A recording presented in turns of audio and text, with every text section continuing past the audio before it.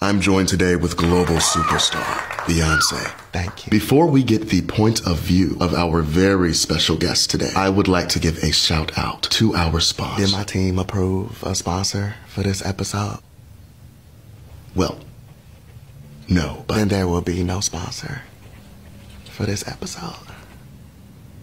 of course. How are you today, Beyonce? You do realize there's a tag hanging from your wig, don't you? How are you today, Beyonce? Call me B. really? No. Okay. Tell us about your seventh studio album, Renaissance. It's called Renaissance.